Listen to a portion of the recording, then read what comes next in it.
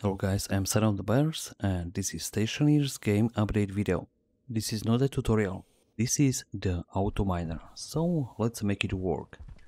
So you can see it looks like this, right?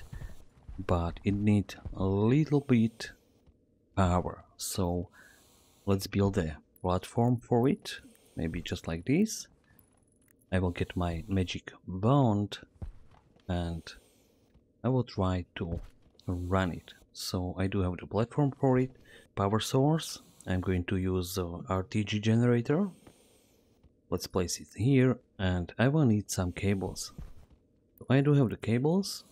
Let's connect it to the power just like this and let's see what it can do. So I will turn it on and this button here will run it. So now we can see the auto miner is going to drill the surface.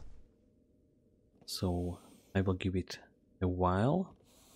And it is mining the surface guys alright so if it finds some ore the ore will output here. It has a chute so I will wait for it for it a little bit and we will see if we can find some ore or not it looks like I'm very unlucky because the miner can't find anything but I do have my fingers crossed for any ores in the underground and I can see we found at least something.